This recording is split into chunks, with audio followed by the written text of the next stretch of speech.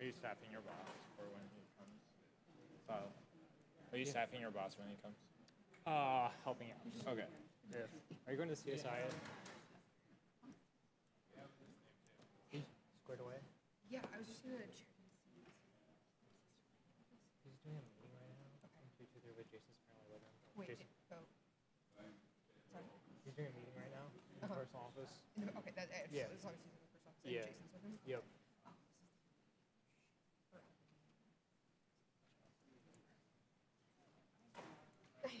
We're, we're switching things up on, you. you gotta, No, plan for him tonight. Good to go. yes, and just have to, if you wanna see the other parks, I'm sure. basically retreaded. So makes it really hard, so. Yeah. Good work on that. Yeah, the thing is, uh, the girls folks make it easy to, I think we got some really incredible groups. and, Yeah. um, Did you get a, a number briefing this morning on the coronavirus? I thought it was Republican, but I don't know. Oh, no, you should. Like- Because Oh, really? Nick was there. I, obviously, it was at eleven, so Gotcha. terrible time. Uh, Thomas Rice was a good friend of mine. yeah, he's Um, great. He told me it was only Republicans. Oh, well, that's, Okay. So, my bad. um, yeah, yeah, that's totally fine. Um, If you get stuff like that and like you want me to like tag in or something, Yeah, just let me know. They announced it last night, um, but let's, let's stay in touch with them. We'll have them do that.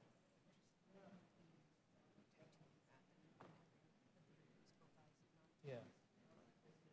And just generally speaking too, like since I'm sure that if you're gonna be helpful or anything, like feel free to reach out. I'll defer to you on everything, but in the second part, so. Yeah, absolutely. I think that especially with like the other stuff, because there's such a big PNC nexus, like Yeah. please like dive in and if it's really helpful. and- and do that for- for this. So it's good. Subcommittee will come to order. We meet today for Congress's first hearing on the 2019 novel coronavirus. Without objection, all members will have five days to submit statements, questions, extraneous materials for the record, subject to the length limitations in the rules. I will now make my opening statement and then turn it over to the ranking member for his opening statement. First off, I want to thank the witnesses for, for joining us today. Um, this is uh, the first hearing on, on coronavirus, and many Americans and many folks in the, the public, as well as members of Congress, um, this is on our mind right now. And before um, kind of diving into things, I do want to make note that we did ask the administration to come up and, and brief us, and unfortunately, they um, did not send folks. And you know, this isn't a partisan issue. This is an issue of how we work together as Democrats and Republicans, Congress, along with the administration, to get ahead of a public health emergency.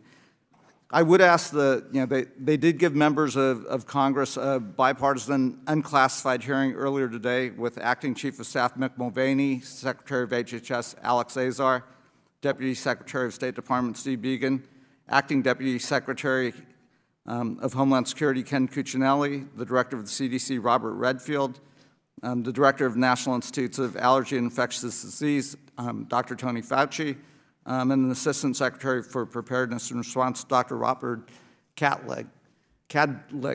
Um, that was not televised, that was not open to the public, but it was unclassified, and I would make the request of the administration to provide their opening statements um, to this committee so we can add that to the public record, because we do believe the public's concerned here, and the more the administration could speak directly to the public and answer those questions, um, the better off we would all be. And again, I, the administration has an open door to, to come before this committee or, or the, the, the full committee to you know, share what they're learning in a rapidly fluid situation. And again, you know, we look to work with the administration to support the response. You know, I, I look at this as a, a physician and um, someone who's worked in public health, uh, was chief medical officer for Sacramento County and has worked overseas internationally. And, you know, this is quite concerning right now. And, you know, we've got many questions. And when I think about, you know, three objectives of this hearing, but also of how we respond um, as a nation, but also a globe, how is the United States government coordinating the response both domestically and internationally? Do we have the right tools and resources in place to help um, get ahead of this outbreak. And what I mean by that is if we think about you know, one of the most urgent things we could do, CDC has the best epidemiologists in the world. We have some of the best personnel. I know um, we've been getting conflicting reports. We've had some folks in country, but now would be a time for us to collaborate with the, the Chinese to get our best epidemiologists to the epicenter so we can actually answer some of the health questions that are there. How easily is this transmitted human to human? How um, are people infectious when they're asymptomatic? Are people um, infectious when they don't exhibit symptoms? Or is it only when they're, they're symptomatic? Um, you know, we've had conflicting reports of what the incubation period is. Times we're told it's up to 14 days. Then we were told it was five to seven days. Then we're told it's three to five days. All of these are incredibly important questions for us to ask. So we can not just help the Chinese um, as well as the rest of the world internationally, but we can also plan our response here. A second important point that we learned um, post Ebola and post other pandemics is the importance of having an individual or small group of individuals who can coordinate across the interagency process. To date, you know, we don't have that single individual that has sole responsibility of that coordination. We've heard that Secretary Azar, extremely capable individual, but he runs Health and Human Services, and if there is, if this broadens here locally, Health and Human Services is going to have their hands full responding and supporting our public health efforts here. We've got a great CDC um, director, but they've got a specific role. The DoD can do logistics, and they've got a specific role. Um, Homeland Security, you know, has a specific role. One of the recommendations was at the national security level, we really do need to have a single individual who can coordinate the whole interagency process. And you know, Mr. Klain, I know you, you were instrumental in that role, and you know, certainly um, look forward to, to hearing your thoughts about why that is such an impor important role. Number three, um, in the era that we live in, information but misinformation that's out there is going to be really important. As the public, you know, should this um, spread in the United States, um, what is the, the right information that should get out to the public and how do we combat disinformation? And, you know, again, that's a, a, a very difficult scenario, but it is incredibly important, not just here, but also, um, you know, internationally. So again, I look forward to, you know, hearing from, from the, the witnesses on, you know, some thoughts and ideas. And then, you know, out of uh, an abundance of caution, we did see the administration institute a, a travel ban and, you know, and increased screening of folks that are returning from China and the region. Um, you know, there, there are discussions taking place backwards and, and forwards as to whether that actually will help us get a handle on this or if the travel ban will actually potentially make things worse. And again, I'd be curious for the perspective of some of the witnesses on how that's being implemented and you know, the, the, the impact uh, of that. And then lastly, you know, part of the reason why I really did want the administration here is we don't see this as a, an adversarial role. A lot of things in, in Washington, D.C. are partisan. This is not partisan. We as Congress understand how rapidly this is moving. We also understand that we want to make sure the administration has all the tools and resources that they need. Right now, we're guessing at what they might need in the emergency supplemental.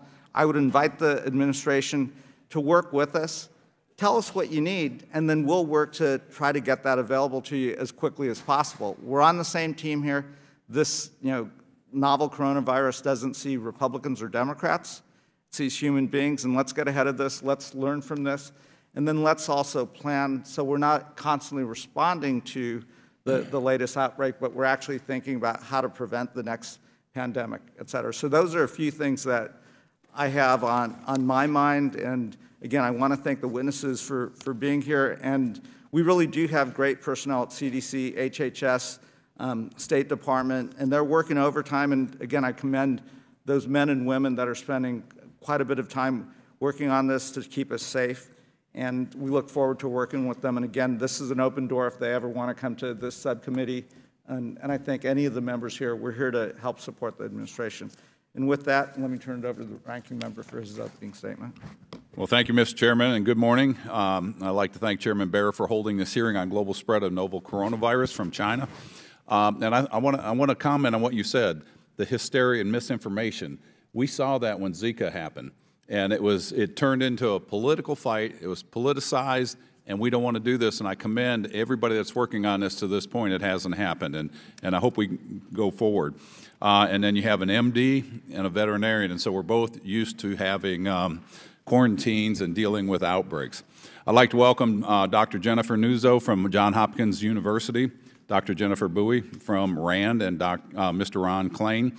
I look forward to hearing from each of you about recent developments and paths forward to coronavirus and related global diseases.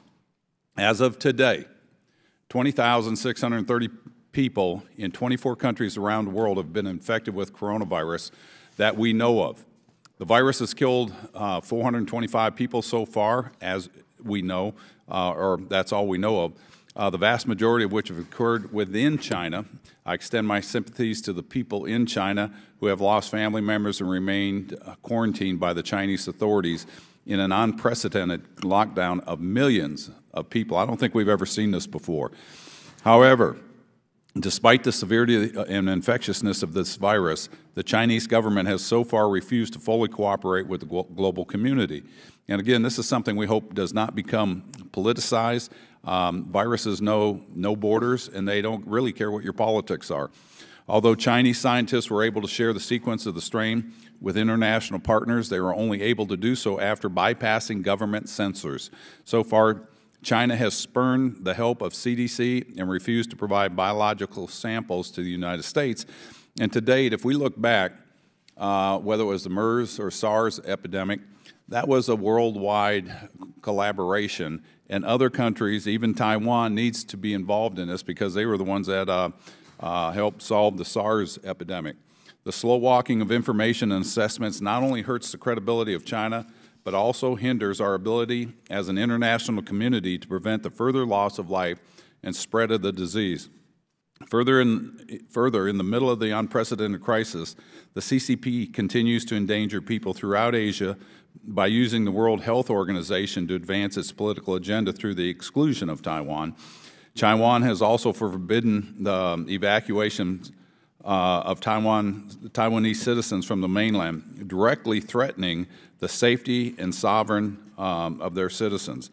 This can't stand. And again, viruses really don't care what your politics are.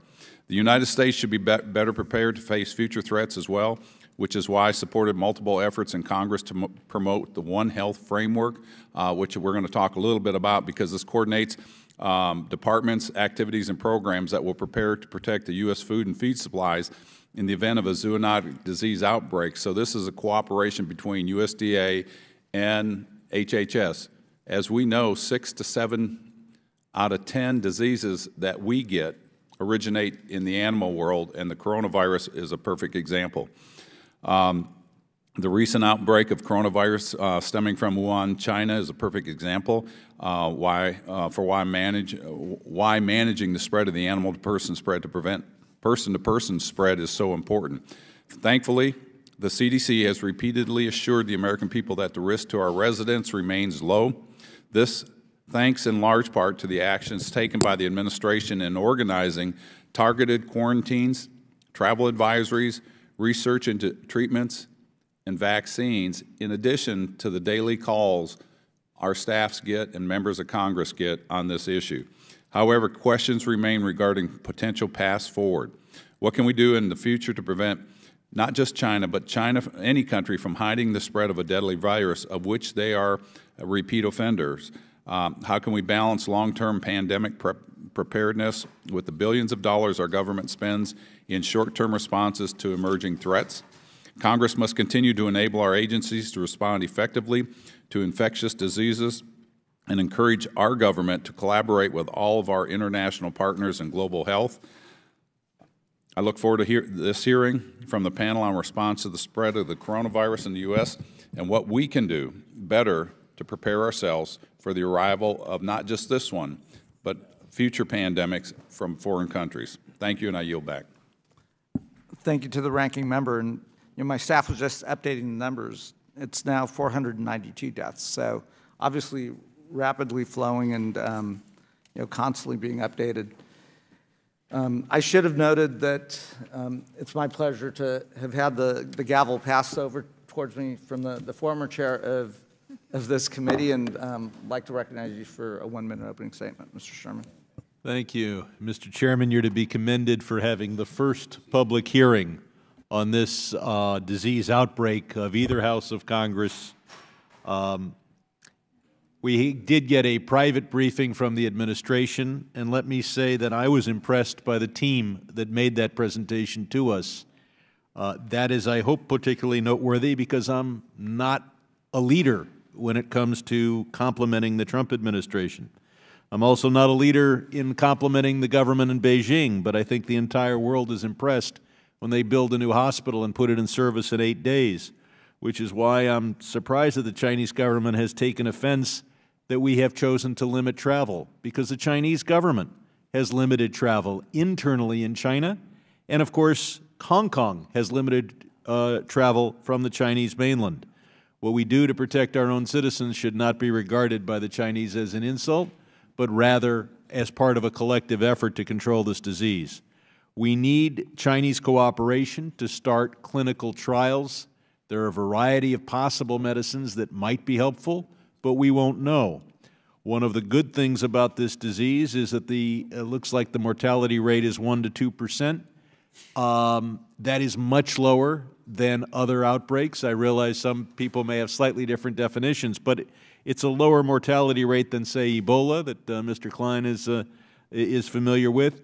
And so it means that without a clinical trial, you don't know whether a particular medicine is successful.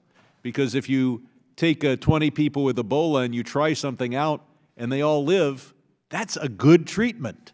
If you take 20 people with this disease and give them a treatment and they all live, that may have proved nothing at all. So we need double blind clinical trials. We need cooperation with China. And uh, I, uh, I look forward to getting there. I yield back. Thank you, Mr. Sherman. Um, now, I'm very pleased to welcome our witnesses to today's hearing. We're joined by Dr. Jennifer Nuzzo, a senior scholar at the Johns Hopkins Center for Health Security. She'll be followed by Dr. Um, Jennifer Bouey, the Tang Chair in China Policy Studies at the RAND Corporation. Both are trained epidemiologists. And finally, we're joined by Mr. Ron Klain, who coordinated the response to West African Ebola epidemic in 2014 and 2015. Um, please um, summarize your written statements to five minutes, and without objection, your prepared written statements will be made a part of the record. Dr. Nuzzo, if you could begin. Good afternoon. Chairman Bera, Ranking Member Yoho, and members of the committee. Thank you for allowing me to appear before you today to talk, discuss the emergence and global spread of the 2019 novel coronavirus. In the last two months since this virus was first identified, we've learned several important things, such as its potential to spread between people and its capacity to cause a spectrum of disease ranging from mild to severe. These discoveries have changed our perceptions of the global risk that the, this virus poses, but there are still critical unknowns for which we urgently need more information. Though more and more cases are reported each day, we don't yet know the true size and geographic scope of this epidemic. And those many countries are not capable of actively searching for cases. And those countries that have implemented surveillance are likely missing cases, perhaps large numbers of them. Severity of this disease is another key unknown. Because of biases in the way we look for cases, it's difficult for us to estimate from the case numbers how much severe illness and death we may expect to see as this epidemic grows.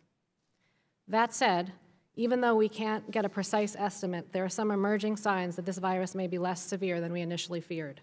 If these trends continue, we will ultimately, we may ultimately downgrade our concerns about this virus.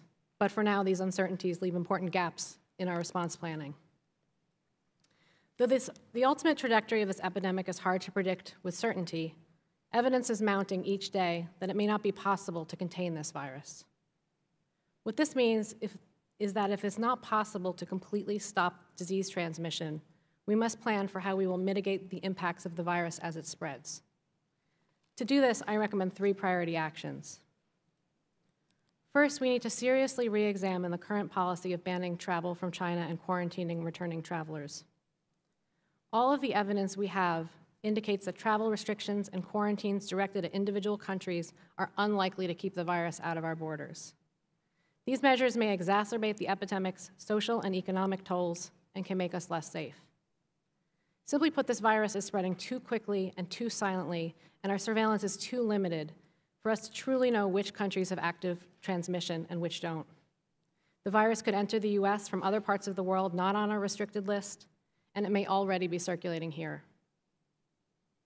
The US was a target of travel bans and quarantines during the 20, 2009 flu pandemic.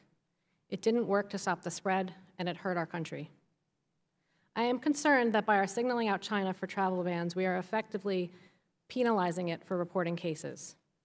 This may diminish its willingness to further share data and chill other countries' willingness to be transparent about their own outbreaks. Travel bans and quarantines will make us less safe if they divert attention and resources from higher priority disease mitigation approaches that we know are needed to respond to cases within the United States. Caring for and monitoring even a small number of quarantined individuals will be highly challenging for health departments and may siphon attention from other more important response work. And we're already hearing stories about chaos in the states as they're trying to implement these recent policies. Second, rather than penalize China, we should try to assist it in responding to the epidemic. Helping China has, is in our best interests. There's a risk that the drastic actions that China is taking to control the epidemic could lead to disruptions in U.S. supplies of essential medical resources, such as personal protective equipment and critical medicines. We need to examine this possibility and identify ways to ensure that the epidemic, or the U.S. response to it, doesn't interrupt medical supply chains. Third, we should focus on health response efforts that we know will help to lessen the impacts of the virus within U.S. communities. We need to ensure that federal, state, and local health agencies and hospitals and health clinics have the resources they need to diagnose, isolate, and safely treat cases, and to promote feasible approaches to, to disease mitigation that are most likely to reduce disease spread, minimize disruption, and protect those most likely to experience severe illness and death. For this, we need leadership and additional investments, possibly in the form of emergency funding, such as was appropriated during the 2009 pandemic. Government leadership is also needed to facilitate the development of medical countermeasures, including infectious disease diagnostics. The points I've raised today hopefully paint a picture of an epidemic that is in many ways complex and evolving, but for which we are increasingly gaining clarity. One thing is certain, international collaboration will be essential for us to monitor, for continue monitoring and learning about the virus and to inform our own response plans. That we know anything about this virus is due in large part to information contributed by China, Thailand, Vietnam. These are countries that have worked hard to improve their surveillance, in part with US help, and we will likely need their help going forward. We should recognize these success as they demonstrate the value of our investments and the need for continued international engagement. Though our instincts may be to isolate ourselves to try to keep the virus out of our borders, this approach may only weaken our preparedness. Thank you. Thank you, Dr. Nuzzo. Nuzzo. Dr. Bouey. Thank you. Chairman Bera, uh, Ranking Member Yoho, and members of subcommittee, thank you for inviting me to testify for this coronavirus outbreak. My testimony will start with laying out the context of this outbreak by looking at China's public health development after SARS. Then I will examine China's current uh, response to this uh, outbreak, and I'll end with some recommendations. 17 years ago, SARS emerged from southern China and caused a global uh outbreak and infecting over 8,000 people and killing more than 700. SARS prompted China to radically rethink its uh, public health system. The country invested heavily in the Centers for Disease Control, surveillance networks, and the National Influenza Center. SARS also spurred China to strengthen its relationship with the United States and the wider international community uh, around public health concerns. The U.S. helped China in both public health infrastructure and capacity building. Public health professionals from both countries collaborated on HIV AIDS, avian flu, swine flu, H7N9, and Ebola. In the last couple of years, however, this relationship has faltered due to tensions between the US-China uh, relationship. Compared to SARS, the time taken for the Chinese government and the global health community to respond to the first cases of coronavirus are much shorter. So uh, they were about four weeks from the first notice case to the public announcement of the outbreak, and then 12 days to the time when virus was identified, and then nine more days until the national case report system was triggered. The credit for this progress can be tied to the availability of the latest genomic sequencing technology and the global data uh, networks. Because of the rapid uh, identifica identification of the virus, many countries, including US and China, can now quickly develop a testing kit, monitor the genetic mutations, and have better understanding of the trans transmission.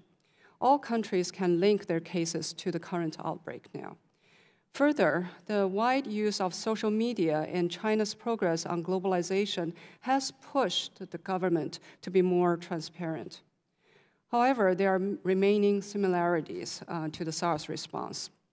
Given the Chinese government values stability most, an outbreak by its nature is disruptive. The government's hesitation to announce the public health threat was reflected in the long review process and the regulations that prohibiting local officials and the members of pub public discuss outbreak before the approval from the central government. The downplay of the severity of the outbreak also has happen, happened again. From January 3rd to the, uh, to the 20th, the expert investigation team assured the public that there was limited person-to-person transmission. And after closing the animal markets that associated with the first group of cases, the epidemic was under control. It was not until cases outside China appeared that the second team was sent and confirmed the communal transmission. Then the government uh, announced a public health emergency and triggered the national case reporting system. Finally, as with SARS, the government uses mass uh, quarantine as the primary intervention.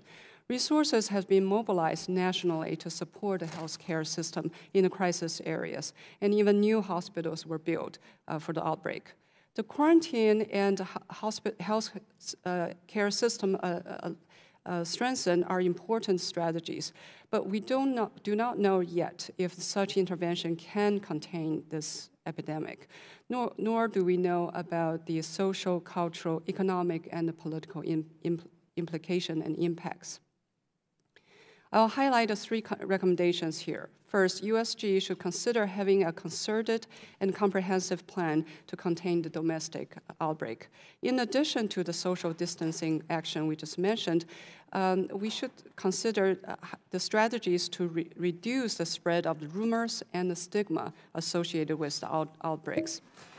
Second, public health and humanitarian assistance should be sent at this time when China is bearing the principal burden of the outbreak.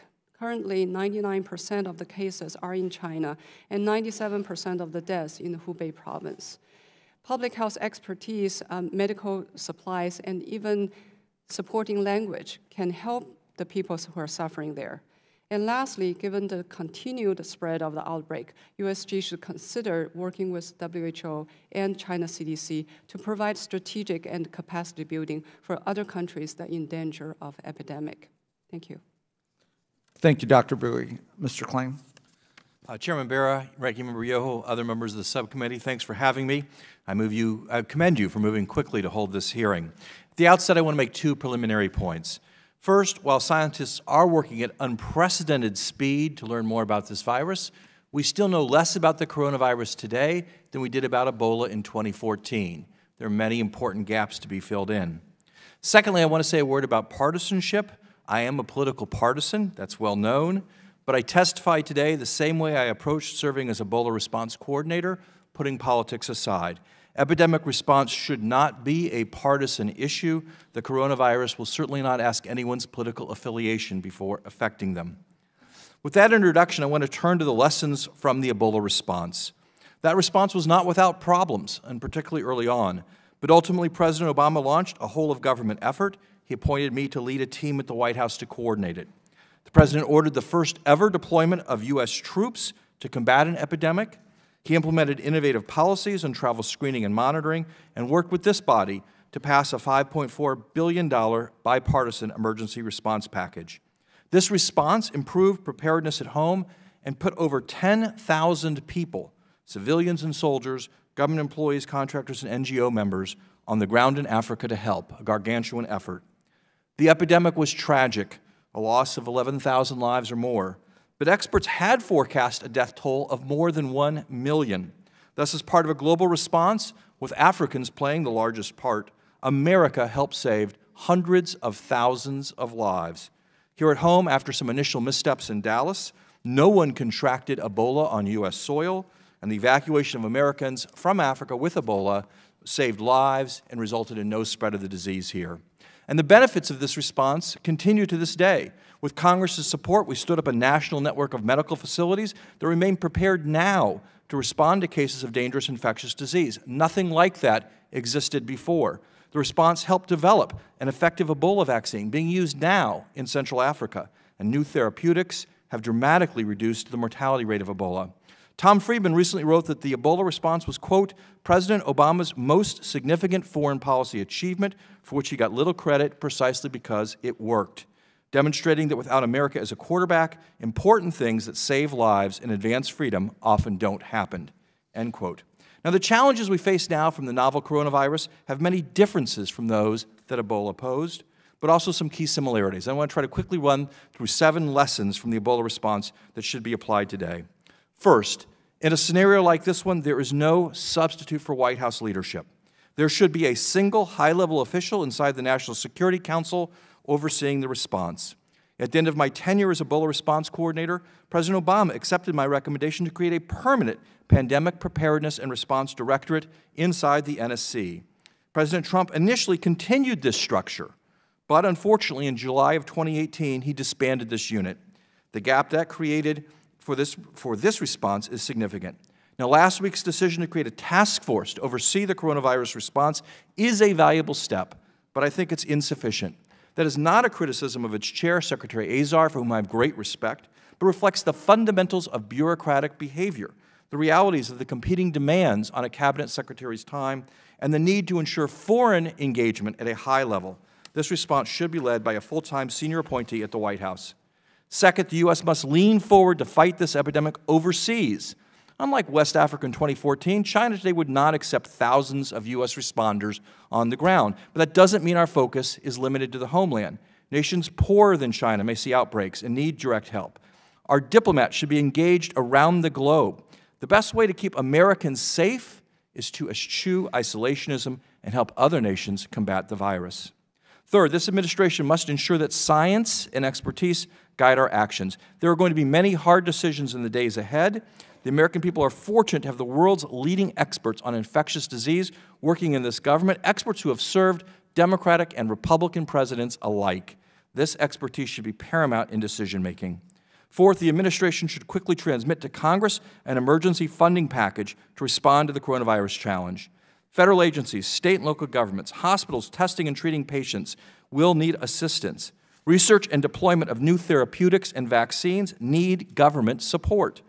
While the response has benefited from the new emergency fund that Congress created on a bipartisan basis last year, that probably will not suffice. The Trump administration should send an appropriate funding request to this body. Fifth, the Congress must do its job in dealing with the coronavirus. It needs to act on any such request quickly and should perhaps work now to be ready for it. In addition, hearings like today's are very important. The emergency fund needs to be increased and paired with a fund to support the development of therapeutics and vaccines on public-private partnerships. And finally, Congress must renew funding for the full network of Ebola and special pathogen hospitals created in 2014. It's set to expire in May. Sixth, there should be a wake-up call to finish the work we need on pandemic preparedness. Recently, we marked the 100th anniversary of the single largest mortality event in American history, the Spanish flu epidemic. At present, it seems very unlikely that the coronavirus poses a similar threat. But even if this epidemic is not the big one, as Representative Yoho said, it's a reminder that the danger lurks and it will come. The Global Health Security Agenda, bipartisan commissions and reports, and my own writings have set forth detailed agendas of what we need to do to prepare for this event, but have largely been ignored. The time to act is now. And seventh, finally, all of us need to be on the watch for discrimination against Chinese Americans and speak out strongly against it. The coronavirus strikes humans, not people of any particular race or ethnicity. Chinese Americans and Chinese immigrants in America are no more likely to get this disease or transmit it than anyone else. It's critical to speak out against discrimination. Americans need to pull together to fight a disease, not pull apart to fight one another. Thank you again for having me, and I'm ready to answer your questions. Thank you, Mr. Klain, and thank you to, to all the witnesses. Um, I'll now recognize myself for uh, opening questions, and then I'll recognize the ranking member and other members for five minutes for the purpose of questioning our witnesses. Um, let's touch on a, a, a couple areas that I think each of you touched on in your opening statement. Um, I understand the, the initial reaction to say, you know, let's try to contain this virus um, at the epicenter in, in, in, China. But, you know, just given the worldwide spread of these cases, how little we know about the, the, the transmission at, at, at this juncture, it seems as though, you know, we're beyond the, the point of, you know, trying to contain this at the epicenter. Um, maybe starting with you, Dr. And, and uh, you know, just going that, down the line, how effective uh, is this travel ban? And you touched on it, um, that it actually may worsen, worsen things right now and concentrate things. So. Thank you, Chairman Bera. Um, I, as I mentioned, am worried about the implications of the travel ban.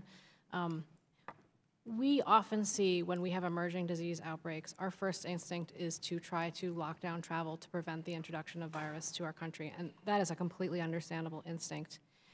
Um, I have never seen instances in which that has worked when we are talking about a virus at this scale. Respiratory viruses like this one, and like others, they just move quickly. They are hard to spot because they look like many other diseases. It's very difficult to interrupt them at borders. You would need to have complete surveillance in order to do that, and we simply don't have that. In China, we're looking for largely sick people. In the other countries, we are only looking for people from China. So we are going to miss transmission elsewhere. So for that and other reasons, I do not believe that it will be able to keep the virus out of our border.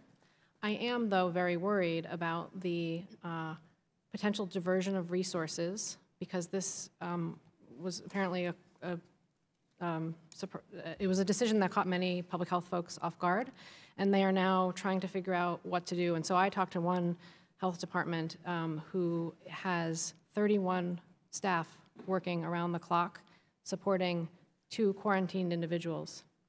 And I just think as this epidemic grows, that's not likely to scale.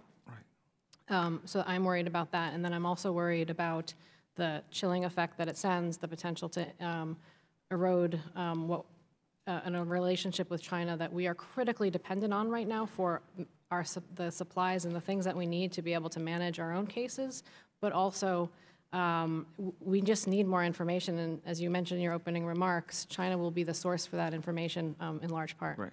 Yeah, maybe um, Mr. Dr. Nuzzo touched on the supply chains and the interconnectedness of how concerned should we be about um, those supply chains and, and, you know, obviously they're global supply chains as well and, and the medical supplies potentially needed here, but, but also in China?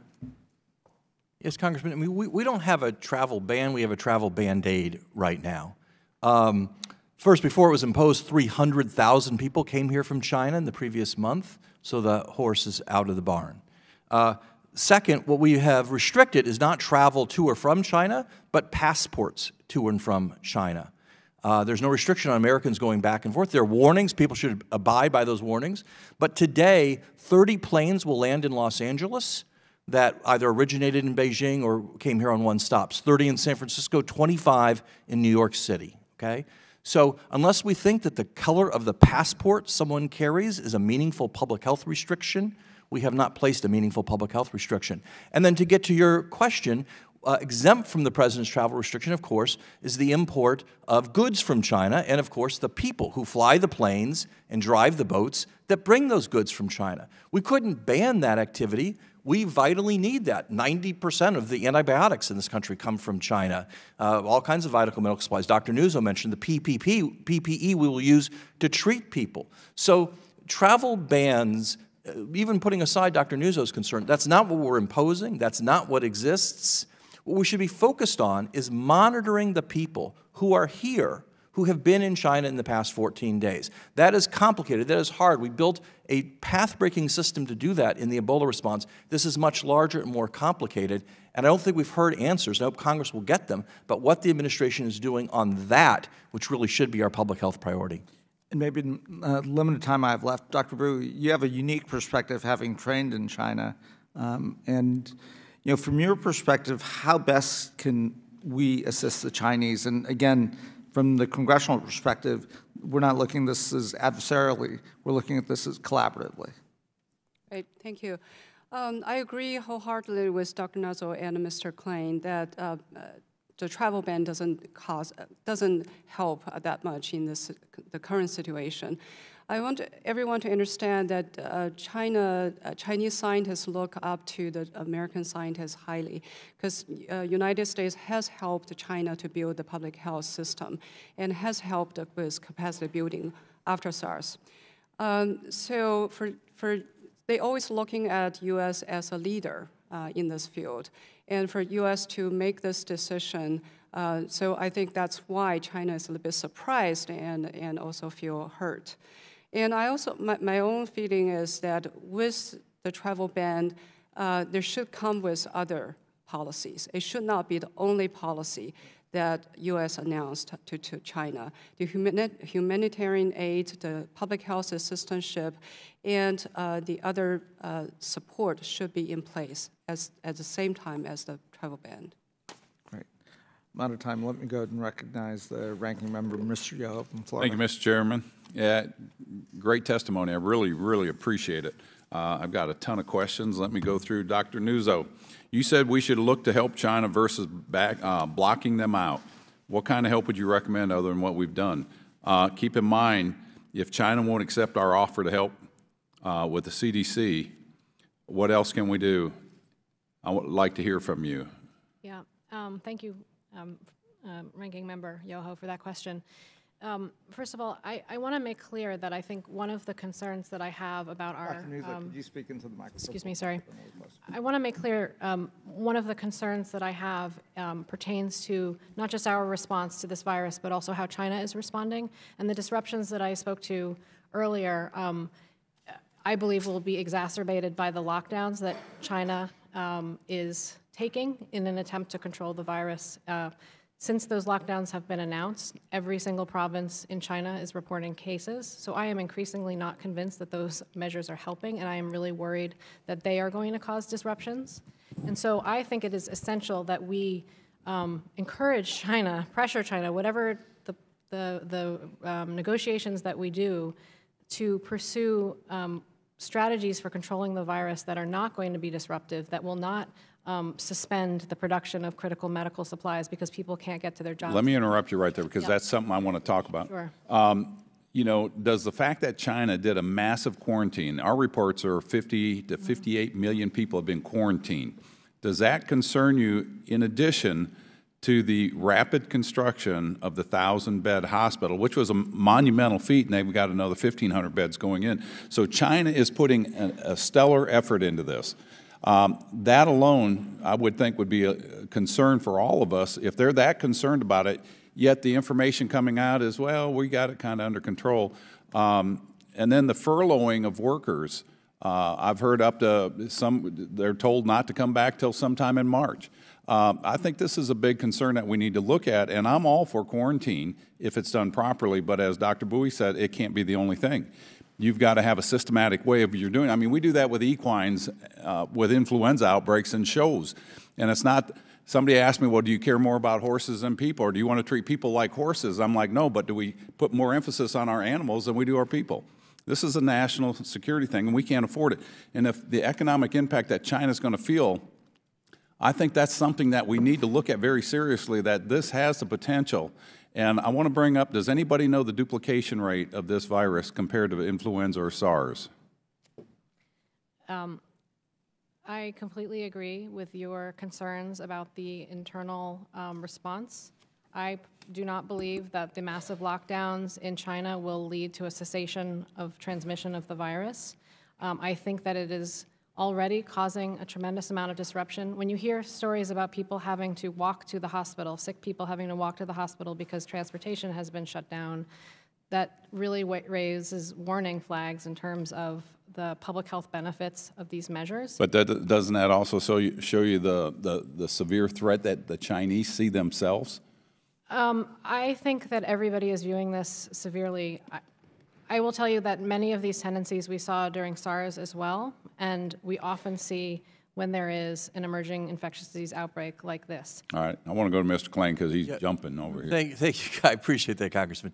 Look, I think that there are two points uh, that I will make. Uh, well, three. One, I, I agree that there are a lot of signs here that this may be more severe in China than has been reported, and I have no doubt that the actual number of cases is significantly higher than. Well, let me tell you what I heard yesterday from reliable sources. It's over 100,000 people been exposed. Yeah, What I- we've heard, and that duplication rate with influenza was about 1.3%. That means one person can affect about 1.3 people. And that was the same with SARS, a little bit higher for SARS. This one, they're estimating right now between 2.5 to 3. So that means one person is affecting two and a half to three people. And that's not being reported. And if that's true and the Chinese know that, they need to let that us know because that shows you the virulence of that and the, the rapid spread. Yeah, the, the, I I agree. We don't really know what the R naught is. We don't know a lot of this facts. We need to get this information. I agree. Last thing I want to say is about this Chinese internal quarantine. Um, uh, just to put a finer point on what Dr. Nuzzo said, I'm highly skeptical that this is effective. You know, I think we all saw that picture of all the bridges out of Wuhan uh, with no one leaving. But if you looked at that picture, on the other side were literally thousands of trucks on their way into Wuhan. Who drove those trucks and what happened after they unloaded them? Think about trying to quarantine a city the size of New York City in the United States and imagine that no one would come in and no one would go out. How would you feed those people? Who would run the power plants That's and all these things? Going to be So- found out in the future. yeah, and so what, what I'm willing to bet right now is that people are coming and going from Wuhan every day. And, uh, and it's just the practical reality of the size and the scope of what we're talking about. I'm out of time. Thank you. Thank you, Mr. Chairman. Um, Mr. Sherman from California. First, this outbreak uh, shows the um, wrongheadedness, almost immorality, of the Chinese government excluding Taiwan from the World Health Organization. Uh, We've got to be on Team Human, not on Team Disease. Um, And whenever something new like this happens, we react. Almost always, it's an overreaction until there's that one case where the reaction is not an overreaction. Uh, we are in a race uh, to develop vaccines and cures, and that can happen only with cooperation between the United States and China. Um, we look back at November 2002, when it took months uh, for the scale of Chinese SARS crisis to be exposed. This time, uh, as the New York Times uh, reported, uh, at critical moments in the first seven weeks between the appearance of the first symptoms in early December uh, and today, uh, the government's decision, wa- between when the first appearance and the government's decision to lock down the city, officials chose to put secrecy and order ahead of openly uh, confronting the growing crisis. Um, so I'll ask uh, each of our witnesses, are the Chinese being honest as to the extent of the epidemic? Does the World Health Organization have sufficient access to facilities and to patients? Doctor? I can't speak to intention. I think there have been critical information gaps. Um, The one that I am particularly uh, interested in learning more about and think we should have more information about is about the severity of cases. Um, You know, I, to, to the point about how, is the situation more severe than they're letting us know? Are there more deaths or dying that we're not hearing about? Okay. Um, One puzzling feature so far is that the cases that we have seen outside of China have been far more mild than what's going on in China. So we need to understand why that is. And for that, we need access to more data. I have been encouraged that there have been a number of scientific publications that have come out already about this. with Chinese and, and, and others, um, and, and scientists from elsewhere on those, um, on those publications. But um, I, as an academic, can't even justify waiting for a publication to learn uh, uh, about these things. So I absolutely believe that more information is critical. Okay, I, I- I do have uh, limited time. Uh, The Chinese have reported uh, 24,000 cases and 490 deaths. Uh, Dr. Bouey, uh, what, what, uh, My observation what what do you think the number is? Right. Uh, uh, my observation is that uh, th- there was delay uh, of case reporting for sure before January 19th. After Jan- January 19th, the, the government triggered the public health emergency, and that triggers the, nation, the uh, national case reporting system. That case system was uh, implemented after SARS. And as uh, if you know SARS better uh, well, uh, then you, you know that at the end of the SARS, when they set up the system, they say uh, they put it in law that every the if anyone cannot report the, the accurate numbers, then they will be punished. I think. I- I- that's I- very well. I've got to go to but the other, I asked. The, the two- problem is the- Excuse me, I have limited time. Um, The, the, the Chinese have not involved the United States experts to the degree they should. Are they, do we have uh, sufficient numbers of uh, people from Europe, Japan, and the World Health Organization on the ground uh, to get us uh, the information and to see that we're doing all, all we can to look for, uh, for, for, for cures and vaccines? Uh, Mr. Klain? I don't think so, Congressman. And again, this is one reason why I think we need a high-level coordinator at the White House who can be in touch with high foreign governments at other high levels. I have, again, Secretary Azar is competent and skilled, but this is an act of diplomacy, not just health diplomacy, but high-level diplomacy. Our president should be on the phone with President Xi. You know, we should be engaging these other countries at a very high level. That's what we did during the Ebola response, very high level from the White House, and I think we need to do that here to get more American eyes on the ground. here, Again, I, I was asking not just about the U.S. Can, do, do, do any of our witnesses know the level of WHO, European, and Japanese uh, experts on the ground in China, and is that sufficient? Is, is China cooperating with any of the other advanced uh, uh, uh, health organizations in the world? My source is the news, uh, and I know that the WHO has announced that they, they will they are they have a, a team uh, on ground, and I thought They have that a what? U.S. they have a emergency team Mm-hmm. in, in Beijing, and uh, I think the director of the WHO was in Beijing, I think since January 27th. My time has expired. Right. Let me recognize Mr. Perry for five minutes. I thank the chairman, thank the witnesses. We have ample evidence that China has undue influence over many UN organizations, including the WHO. Um, the WHO continues to exclude Taiwan, that is an important player in this and many other things. Um, do you, do all of you think that we can just unilaterally trust the World Health Organization to give an impartial assessment of China's response to the coronavirus? I'll start. I, I certainly don't think so, Congressman Perry. I think um, the WHO is performing better now than it was during the Ebola response five years ago. I think new leadership has helped. But I think the delay in declaring a public health emergency international concern reflected Chinese influence there.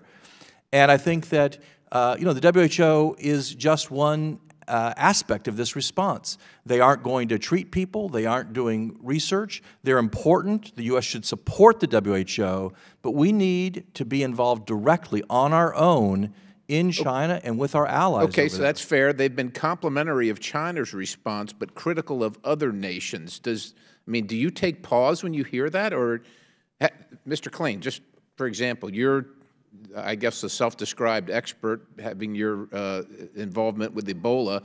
Have you been critical of China's response?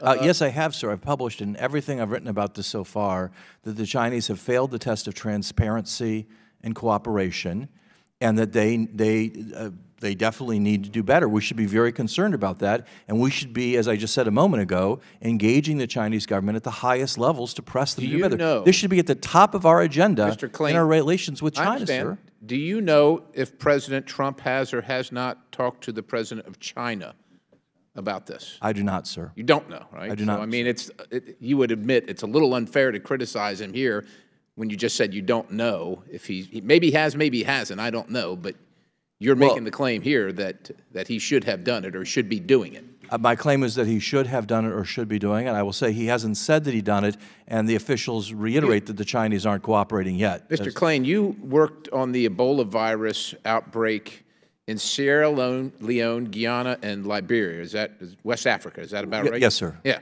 Are any of those nations communist nations? Not to the best of my No, knowledge, sir. right? Are any of those nations seeking worldwide dominance over the United States of America, stealing somewhere between 300 and 600 billion dollars in intellectual property annually, including medical technology? Uh, No, sir. I- As I said, I'm not here to defend China or its response to this virus. In fact, I've been critical about China and its response to this virus in virtually every answer I've given to the subcommittee today. So, in your view, what is the first responsibility of the United States government regarding a pandemic, the coronavirus, Ebola? What is the first responsibility of the United States government? The first responsibility of this government is to keep the American people safe. to keep and the the American best people way, safe, that's right. Yes, sir. And the best way to do that, as we did with Ebola, as we do with other things, is being engaged globally in helping nations fight these diseases overseas so they don't come So here. Are sir. you are you uh, advocating for a travel ban outright to China or from China? I'm trying to get that from your initial testimony. I couldn't tell where you were. You were critical of the current situation, but you didn't offer your solution set as a as an expert, so to speak. Sir, I did offer my solution set. It was that we monitor carefully everyone who has come to this country from China recently. How many people travel from China to the United States every single day, sir? Well, before this outbreak, it was about 8,000 a day. It's a big a day. Yes, sir. And and it's your studied opinion that we should let that happen unencumbered, unimpeded under all circumstances, and monitor those eight thousand people a day's whereabouts. Should this uh, continue to progress and we found an out- outbreak in the United States of America? Congressman, it's my studied opinion that we will never reduce that to zero due to trade and due to the travel of Americans and Americans' family members. In fact, the President's order exempts 11 different categories of people from going back and forth to China, as well as hundreds of people a day bringing goods So it's- here. it's- and so, it's given that, zero given that or all? no, sir, given that hundreds of people, thousands of people will come here every day, I take it, sir, it's not your position that American citizens in China should be stranded there and unable to come back. And given that, then the only practical thing we can do is to monitor those who are coming here to this country, who are bringing medicines to this country, who are bringing goods May, may I this country. with my, that seems like the only practical solution, Mr. sir. Klain, we appreciate your experience. We do, and, and your expertise because you've done this to a certain extent. But I don't think that you've operated in the same realm with, a Chi- with, the, with the Chinese Communist government and, and, and their actions towards the United States. So things are a little different. And the other thing is, is that while you had a certain experience, it might not be the only way of doing things. And so while it's great to throw partisan shots, I mean, when you talked about bringing, I, I read your piece in the Atlantic, sir. I mean, you talk about bringing countries in the United States together and not being paranoid. All you did was offer criticism and really no help, and that's not helpful at all. And I yield back. Well, Congressman, that piece uh, included praise for Secretary Azar for the other aspects of the response, praise for the administration's response to a limited extent in Congo to Ebola we've seen there. Uh, I open by saying this isn't a partisan issue, and I reiterate that this is not a partisan issue. What I do believe, though, is that if we don't engage globally, and again, I've been very critical of the Chinese, we can't keep America safe, sir. And, and I would agree with you, but instead of blaming America, you ought to look more towards the Chinese, not you. Great. And again, the, the goal here is we want to be supportive of the administration. Congress wants to be on the same page with the administration, and we want to work with the Chinese to get ahead of this because this is a, global issue. With that, let me recognize Ms. Houlahan. Thank you, Mr. Chair. Thank you all for coming today. I'm actually really intrigued by uh, Dr. Nuzzo and Dr. Bouey, your initial conversations about the fact that the travel bans and quarantines weren't necessarily the solution. I guess I'm really struggling trying to understand, based on my limited understanding of biology, I'm, I'm a mere engineer, um, why is quarantining not appropriate? Why is it something that's not useful in this case? How do we know what cases it is useful in? Because my limited understanding of biology is quarantining works. Uh, is there ever a situation where that would be something that would be useful, and when do we know when it is? Before it's too late. Um, Thank you so much. I- I'll um, start with answering that question. Um, The challenge here is that we are talking about a respiratory virus that it potentially has, and I take the earlier points, there are still some uncertainties about the incubation period, but potentially can spread between people quite quickly. So it is very difficult to know where the disease is spreading because you just simply can't get a hold of it, ahead of it in terms of your surveillance. So those sorts of circumstances um, make quarantine challenging because we don't know who we should be quarantining fully. Um, we may decide just based on the numbers of cases in China that we should uh, quarantine travelers from China. But we don't actually know if travelers from other countries have the virus. We also don't know if it's already here because we are only testing people who have a, have a connection to China. So that makes it challenging. Um, quarantine is actually not something that we routinely use in public health, despite what you may have heard. It's actually a, um, something that we only use in very rare circumstances. We in public health, when we talk about quarantine, we mean restricting the movement of people that are not yet sick. We very frequently isolate people that we know are sick. That's a very routine and um, well uh, studied process. But quarantine is not something we routinely do. It's usually reserved for circumstances in which you have a small group of people, perhaps in a measles outbreak, in a vaccine hesitant community. So is this a situation where you'll know, when you see it, you'll know that this is a quarantining situation and an effective one, and this just doesn't happen to be one, or we're just I- I- speculating? In this situation, this is, does, definitely does not happen to be one. And Dr. Bouey? My sense of a quarantine is a primary prevention. So it's basically separating the, those who are sick versus those who are not sick. So without a vaccine, without a treatment, usually we have to rely on quarantine on paper. On paper work, but I, in reality, it often only slow the transmission, not prevent. So I'm sorry to interrupt because I do have very limited time, and so when you talk about the vaccine or, or treatment, uh, is there anything that we can do in the short term with this particular situation with uh, vaccinations or treatment uh, from a congressional standpoint? Is there anything that we should be able to do from a forward-looking perspective because this may not be as bad as it seems to have been at least initially, but at some point it will be, something will be. I guess this is probably for Mr. Klain. Can you talk to anything you mentioned, maybe emergency supplemental funding? Can you identify what programs specifically or what accounts would be useful, not just for this particular situation, but for future situations as well? Yes, Congresswoman, I think it's very, I think Congress last year expanded the Public Health Emergency Fund, considered but did not adopt a proposal to create a special fund to help seed public-private partnerships to accelerate the development of vaccines and therapeutics. And I think while that would probably be too late to really help with this uh, epidemic, it might not be, and certainly will be very helpful going forward. I think uh, you know that means putting more money also into BARDA, which plays an important part in turning this research and bringing it to the marketplace. We're always underfunded and always a little bit behind, but I, but I think uh, you know whatever Congress could do to supplement public-private partnerships in this regard would be very useful for keeping the American people safe. Thank you. And with the last minute of my time, Dr. Bouey, I was wondering, you did comment on the fact that there would be potential uh, social, cultural, political, and economic implications to our current strategy, that you kind of left it at that. Can you elaborate uh, on what those kind, I know you said we don't know what they are, but could you speculate? I was referring to the quarantine uh, measures in, in China. Certainly, economic concern is huge. Um, and I think even China's government probably is considering, you know, how long this quarantine can actually, uh, without hard, harming the uh, e- economy too, too much. Um, and of course, it has social and cultural issues. Uh, people are uh, being quarantined are worried. Uh, they are nervous, and uh, especially for the hospitals within Wuhan, they're overwhelmed. Uh, certainly, the new hospital help a little bit, and uh, the um, uh, mobilization of resources help a little bit. But for people under quarantine, it's a tremendous stress. Uh, politically, of course, there's a, uh, there are lots of distrust, uh, lots of uh, questions within China now.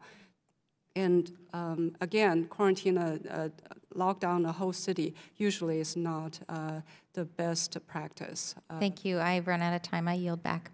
Great, thank you. Let me recognize Mr. Mast from Florida for five minutes. Thank you, Mr. Chairman. I want to take a step back and ask that we all recall we have districts back home And while we deal with national policy, uh, the questions that we ask on this matter to individuals, individuals with children, individuals that go to work, individuals that are exposed to people that travel. We will all travel presumably Friday or Saturday back to our home districts. We're in a very international city here. And uh, I, I think, I, I feel as though this sense that I'm getting from you all about quarantine not being the right path does not pass the test of common sense. But I don't want to dwell on that right at this moment. Uh, what I want to ask first, number one, in the aim of speaking about people that we represent back home, if you were in Wuhan right now, any one of you, you all have experience with this, what would be your first or second or third line of defense? How would you protect your family? How would you protect yourself? Would you wear a mask? Would you wash your hands? Does that not work? Would you not touch your eyes or your nose? Would you prevent your kids from going to school? What would, what would you do? Can I start with, uh, I think, uh, and there are many other primary uh, prevention methods. Uh, health education is one. Uh, I think if people understand what's going on, and they, they understand the severity of the issue, and you let them know that how can they protect themselves and their families and, and their children, That's the question I asked. If you could answer that for me, it would be fantastic. that would be, you know, through social media, through any channel we can have. Social media is not protecting anybody in The Wuhan. right knowledge- the knowledge What do they do to protect themselves? So if there are people that come to our country because there is no quarantine on them because of this academic approach instead of common sense approach, what do people do to protect themselves when they are exposed to others? I think what confused me about your question initially is the, the, if you were in Wuhan, and I can't speculate, I don't know what the situation is happening in Wuhan. As I mentioned before, one of the great unknowns about this virus is the apparent discrepancy in what we are hearing about in terms of severity and illness in China versus the more close to 150 cases that have been reported outside of China. The majority of the, the cases that have been reported outside of China um, have largely been mild disease, like other respiratory illnesses. I apologize for cutting you off, but none of you are answering a very straightforward question. Mr. Klain, the, you're presumably the expert on this panel. If you were there at ground zero, maybe you're not i- in a, a full-on tap suit, but what would you do if your family was going to be in an area that was exposed to it? How would you protect your family from this? What is Defense One? Yeah. So, uh, Congressman, I think this goes back to your initial point, which is defense one would be to get out. And the problem, I think, for this issue of travel bans and quarantines is that probably hundreds of thousands or millions of people have. Okay. Thank you. Number one, get out. Right? Number two, you're- Number two would be out, would be. Number would- two, what would you would be social distancing. Would be trying to have fewer interactions with people. You asked about keeping your children home from school. What we found in the past is when that happens, people's children leave the house and go to shopping malls and other places where they have contact with people. So, you know, it's it's a tricky How thing. would you physically protect yourself? Uh, I, I, the only real way I think to physically protect yourself is to try to stay away from other people. I think uh, if you're going to have exposure to other people, as we all do, you know, washing your hands, doing things to minimize the spread of the virus is good. But uh, you know, get out of where the virus is, stay away from other people, and then engage in standard, uh, you know, public health kind of practices. Wash your hands, wh- whatever. I mean, we don't say whatever. This is a serious question. Yeah. The- the- I mean, that, washing your hands might be a simple act, but it's a very serious thing when you're looking at a pandemic like this. Um, Dr. Bouey, uh, one of your last comments that you made was about quarantine perhaps only slowing the transmission. Is there at this point a vaccine? No. No. So would slowing the transmission be a victory? Well, it's a victory for other cities, other countries. Is it a victory for the United States of America? It's a victory for human being. So it is a victory to slow that, that being something that comes I comes think so. from, And I'm from not quarantine. all against the quarantine. I'm just saying the quarantine policy should be evaluated very often. Not every seven days, every, every month, you know, it should be evaluated. Congressman, my, my concerns about the travel policy is not an academic concern. It's that as a practical matter, people are coming here from China every day, every day. And, and we couldn't stop that unless your district doesn't want antibiotics and protective and all the things that come from China every single day. And so we need to be honest about the American people, with the American people about the fact that we can't keep people coming here from China. We're not going to keep Americans from coming home, for goodness sakes. And there's no reason to think that a foreign national or, an American are any more or less likely to transmit the disease. In fact, we, we think they aren't. So I, I think reducing the number of the amount of travel from China here is a, is a good thing. But I also think we need to be honest with people about the fact that we will always be at risk for this disease coming here because we will never turn off the supply of people and planes and ships altogether coming here from China, given the interconnectedness of our world, interconnectedness of, of vital uh, traffic back and forth. My time And I- has expired. I'd just like to add that um, this has been looked at in a number of circumstances, including the lead up um, prior to the 2009 influenza pandemic. And essentially, the best evidence suggests that a lockdown of travel will at most prevent an introduction for perhaps weeks. That is not meaningful in the context of developing a vaccine. A vaccine could take a year or more. It's not like flu, where we have an existing platform that we can use to create a new uh, version of a flu vaccine for the use in the pandemic. So I, I don't disagree that slowing is a good idea if it is a meaningful amount of time that can be slowed and if the consequences don't, uh, don't, aren't worse than, than the disease itself. Great. I, I appreciate the point that my colleague from Florida is making. I just want to emphasize one piece that, you know, we- we certainly have emphasized to the administration is the best thing we can do right now is get the smartest people, our smartest epidemiologists, and everyone working side by side with Chinese and the global um, community to figure out as much as we can about infectiousness, um, incubation, transmission, et cetera. And again, the best thing we can do is get those folks in, into China. And the president may be working on this every day with phone calls, et cetera. But again, we're here to help. And I, I do think we can then better answer a lot of those questions if we can get our folks into China to, to help answer some of those questions. I'm going to go to the chairman of the, the full committee, Mr. Engel. Mr. Engel, you're recognized for five minutes. Thank you, uh, Mr. Chairman. Thank you for calling this important hearing on the coronavirus outbreak. It's one of the reasons why I love this committee. We're really right in the center of things and quickly as well. So I want to uh, start by uh, expressing my sympathy and condolences to everyone who has been impacted by the outbreak, including the people of China, other affected countries, and those here in the United States.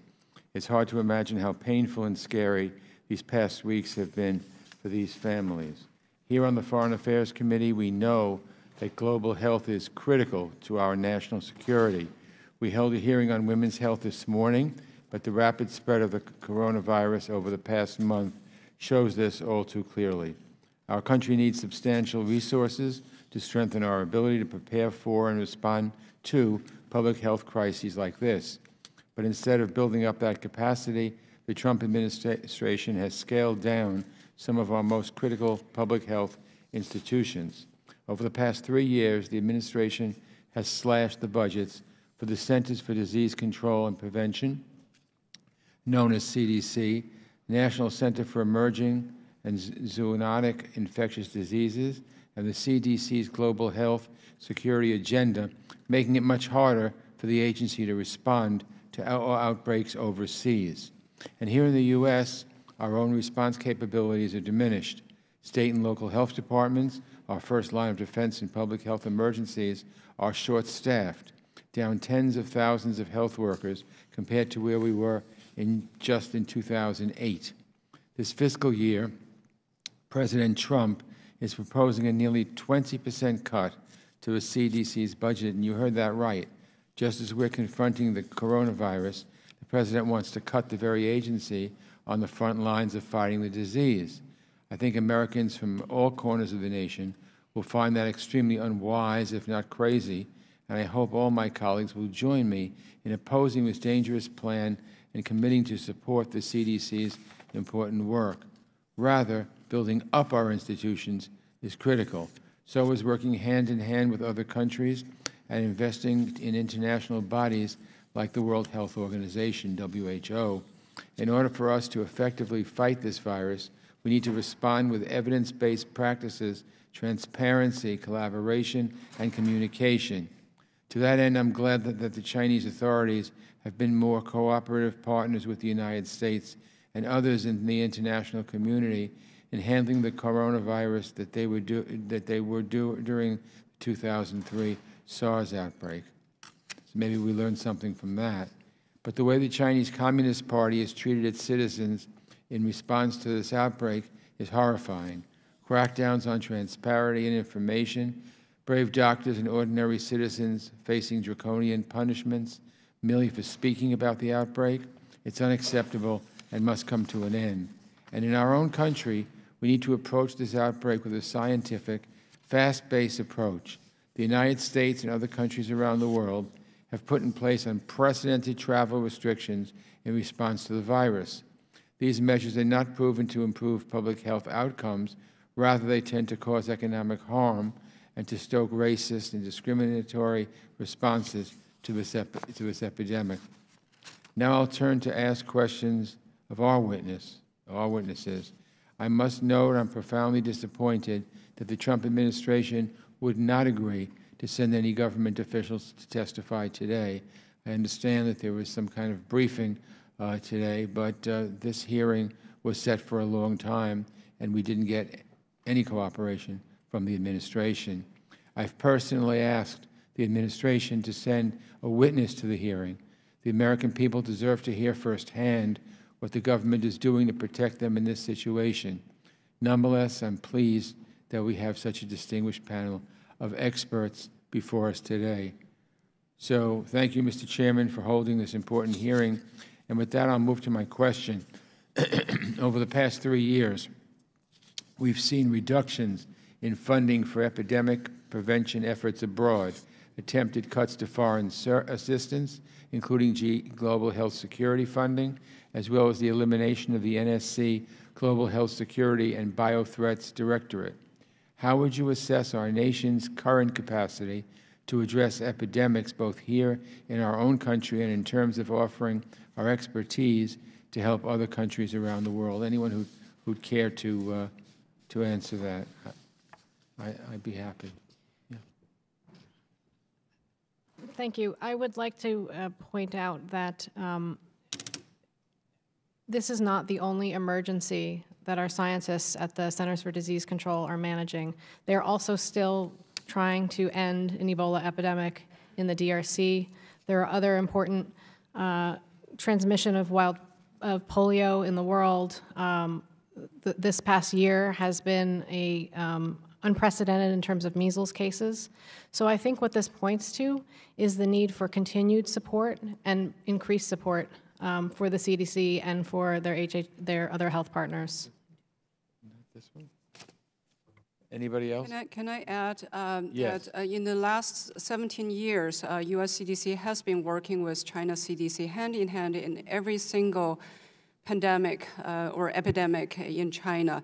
Um, and the current difficulty, I feel, it relates to your comment, uh, is the re reduction of collaborations in the last uh, three to, uh, you know, two to three years.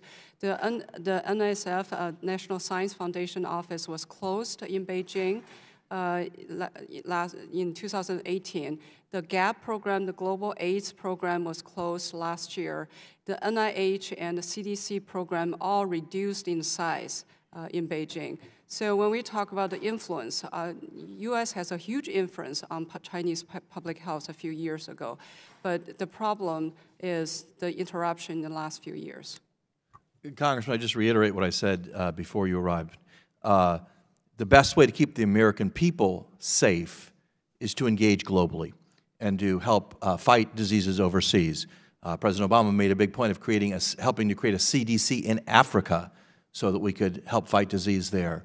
Global health security is American security, and we need to continue to support and invest in that. Let me, uh, thank you very much. Let me ask one final question. If it was asked and answered, please let me know. And that is, um, how would you rate the response to this epidemic by the Chinese government and by WHO and other UN specialized agencies so far? Um, what has been the impact of Taiwan's exclusion from the WHO and other UN specialized agencies, given its proximity to the Chinese mainland, its status as a transit and trade hub, and the handful of cases reported there as well.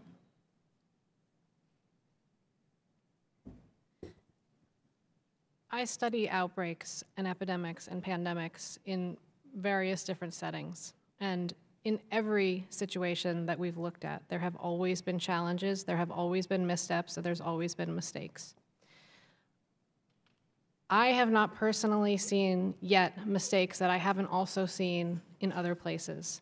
And so while I think that there's an important gap in our knowledge, and for which I think it is incredibly urgent that we gain additional data in order to answer some of these questions that we still have, um, I also have to imagine that any country dealing with tens of thousands, I mean, we're essentially at tens of thousands of cases now, would be hard pressed to handle all that it needs to do, including managing the, the patients, standing up um, enhanced laboratory surveillance, rolling it out to all of the hospital clinics, making sure the hospitals have all the pers personal protective equipment that they need.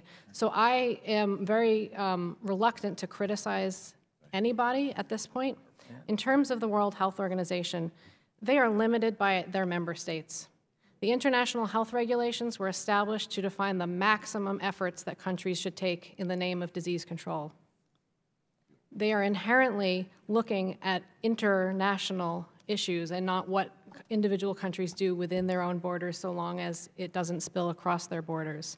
What we have seen from the WHO is that they have been very reluctant to call out countries, all countries, not just China. There was questions earlier about um, whether they were unduly influenced by China. Just looking at the Ebola outbreak in the DRC, there was a long period for which many individuals thought that they should have declared a public health emergency of international concern, and they didn't want to.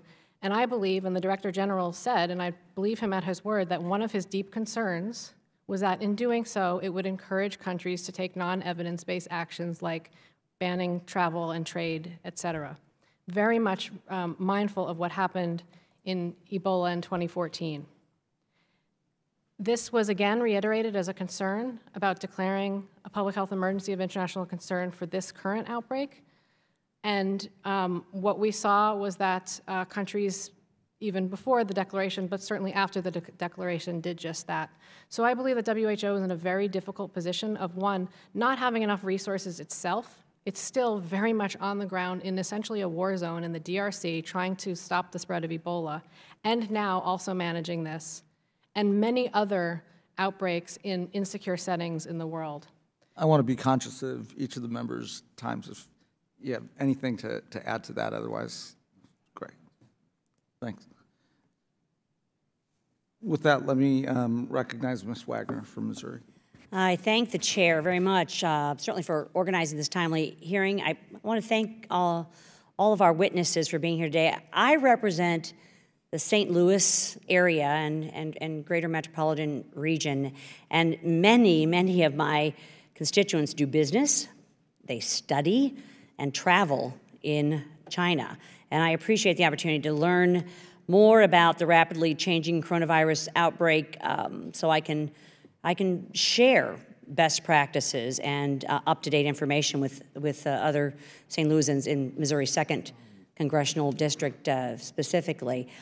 And I'd like to just say this contrary to um, uh, some of the things that are being represented here today, I've had a number of briefings. I've probably attended at least three myself. My staff has had daily briefings from the NIH, CDA, or CDC, um, Health and Human Services, the administration. So I want to applaud the Trump administration for um, an amazing amount of information, transparency, uh, and trying to keep us uh, up to date uh, on things that are really very frightening, um, I think, globally and certainly here at home. I also would like to thank Representatives Connolly and Chabot for introducing the bipartisan Global Health Security Act to establish a permanent official response, uh, responsible for epidemic and pandemic uh, preparedness. I'm proud uh, to be an original co-sponsor of the bill, and I urge my colleagues to,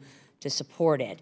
Um, health systems across the developing world lack the capacity to control the spread of the novel coronavirus. Uh, Mr. Klain, uh, how is, and I'll ask the question, then I want to put a, a, a context on it. I want to know how the U.S. is, and this sounds broad, but how is the U.S. helping these partners to prepare? I know for a fact that the CDC and the NIH here in the United States of America have been, were begging in very early January uh, China to come in, help, be there on the ground. Um, and it took them three weeks. It wasn't until about the 28th or 29th of, uh, of January before they finally said, oh, please, rush on over.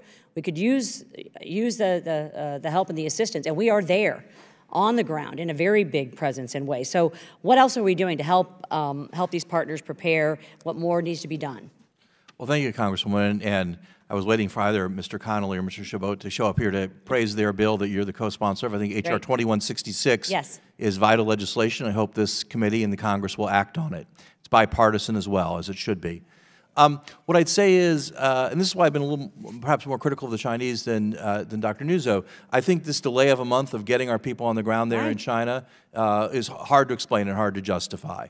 And I think uh, it's good that we have some people there. We should have more experts there. We have the best experts in the world here working for our government. Uh, having them uh, on the ground, I think, would be a, a And we were trying. And for we're tr- over and- a month to Yeah, get, yeah, to yes, get there. ma'am. I- and we will come up with the cure and the vaccine. Now, sadly, it will take months and months to probably uh, do that. But Yes, ma'am. The other thing I'd say is we, uh, we also need to be working with the nations around China, right? We, we're going to see spread of this virus certainly through the region, probably globally, but certainly first and foremost the region. Other nations in the neighborhood have less advanced healthcare systems than China, less resources, less ability to, to manage this than even the Chinese do. So we got to be reaching out to them to see what we can do to help them. They may need more direct assistance from us in terms of the response. And of course, we need to be beefing up our own preparedness for cases here. Well, I think we are doing that. I think we're very much on top of that. That's certainly what the briefings have been, been, been telling, telling me. Dr. Nuzzo, what challenges does the U.S. face in deploying testing services? Thank you. I'm, that's an area that I'm particularly concerned about. There um, seems to be a testing lag right now for um, individuals here in the United States. That's in part because the CDC has been doing all of the testing, and I know that they plan to roll um, test uh, kits out to the state laboratories, which I think will be essentially important. Um, and it's essential that um, states think about how they're going to be doing the testing and what the plan is for that. But it, we don't just need it at public health labs, we also need it at hospitals and health clinics so that doctors can use it to guide treatment Well, and isolate patients. And, and in addition, given that respirators and other medical equipment are largely produced and shipped from China, um, how can we best address supply chain issues? I keep hearing this over and over again. Supply chain issues that could become critical if the coronavirus were to spread more widely in the in the U.S. I mean, I, I, I talked about some of the of the medical equipment and, and respirators that, that are mainly sourced in in, and produced in, in China, but it, it, it's also masks. It's, it's it's so many things. So, uh, can you speak to that, please? Yeah, so we need to be assessing the medical supply chain and see where there are potential vulnerabilities. That is, I know, work that's been ongoing, and I've been encouraged to hear that the agencies have been working on that. But it also needs to be addressed at the political strategy level in China, because the decisions that they are making internally could impact that beyond just our own assessment of what countries produce things where and can we get it from somewhere else. Um, this summer, the U.S. experienced critical shortages in the drug heparin, which is a blood thinner. Right. This shortage was in part due to China's efforts to control the spread of African swine fever, which is not a human disease, it's a pig disease. They were culling pigs. We need the pigs to make the heparin. So we have already seen the impact of how decisions made in the name of controlling a disease can affect health and healthcare here in the U.S. I have uh, a lot of other questions. I'll go ahead and submit them. I appreciate the chair's indulgence, and I will yield back. Thank you all for being Great. here. Thank you. And I appreciate um, my colleagues, and, and again, a compliment to the administration that the briefings that they have been giving us, their experts, et cetera, um, on a regular basis, as to our, well as to our staff. That said, um, we'd love for those experts to come before our committee in a public setting to answer those questions. And what we're really asking for is How can we be of assistance? You know, what do they need from Congress in terms of appropriations, et cetera? And again, these experts ought to be talking to the public and not just members of Congress. With that, let me recognize Ms. Spanberger from Virginia. Thank you very much, Mr. Chairman. And to our witnesses today, thank you very much for what has been a very interesting conversation focused on uh, the epidemiology of this disease and how it's spreading, and also a policy uh, discussion related to what we can do as members of Congress. Uh, Mr. Klain, I'd, I'd, also like to thank you for your very specific seven-point plan and recommendations of things that we should see a, from a federal perspective um, out of Washington to help with this and, and future, um, future viruses and future outbreaks. Um, and you have talked about the need for high level diplomacy to address threats on the ground. And so I'd like to briefly just talk about that from this committee's perspective, looking long term. Uh, I've I have deep concerns about the fact that we have uh, vacancies at State Department um, and other agencies. We have individuals who continue to work in acting positions, not um, fully confirmed. And reflecting back on your experiences working with other outbreaks, looking forward towards what we're dealing with now, could you just tell me briefly what your day to day experiences were, how much you were interacting with diplomats and with civil servants, and how some of these staffing challenges might be impacting our ability to react currently? Yeah, thank you, Congresswoman. Uh, my job in coordinating the Ebola response was really to oversee the all of government response that President Obama summoned, and that means daily interactions with key people at the agencies at all levels, uh, some at the cabinet level, some below that. I think the good news is many really high quality people remain in key posts. Tony Fauci is a national icon and hero. Uh, uh Dr. Schuchat at CDC, uh, others throughout the government. We have great people, Ambassador Green at, at USAID, for example. But I do worry about some of the gaps, particularly at DHS. You know, Congressman Perry was saying, how could you possibly screen all these people coming here and so on and so forth? That's a DHS function. It will require great skill and organization to do that. I worry about the vacancies there. I worry about the loss of institutional capacity at the highest levels of the State Department, which has to manage so much of the logistics of an international response. So there are gaps. We have some great people in our government. We have some gaps in our government and uh, we're going to need to manage all that. And lastly, as I said, I think someone at the White House really needs to be running this every day to help fill those gaps, but also to be interacting with other countries. I had um, daily calls with people in Liberia, Sierra Leone, Guinea, weekly calls with my counterparts in the UK and France. These are high-level interactions that really are needed to uh, make a global response like this effective. Thank you very much. And Dr. Nuzzo, as we're looking at uh, contagious outbreaks, um, and in this case, here's a contagious outbreak, it's happening on the other side of the world, and all of us represent districts here um, in the United States. My question for you is how could or how should the federal government work in ensuring that medical providers across the United States uh, can deal with some of the concerns, have the information they need, have the resources that they need, um, and that's one part of it. And then the other part of it would be how can we um, help as members of Congress to ensure that the information is getting out there and that these uh, physicians and hospitals have what they need? And, and do you anticipate that there are specific resources that will need to be mobilized to support clinicians across the country if we do see increased spread here at home? Yes, thank you. I had said earlier that um, although that we have a perception that this is an epidemic that's happening across the world, we actually don't have enough information to say for sure where it's happening. Um, we're only testing uh, around people's uh, connection to China. Does that mean that, are you asserting that it could be elsewhere and we're not yet attuned to that? Yes. Okay, thank you. And, and that's what other countries are doing as well. I mean, it, it could very well already be here.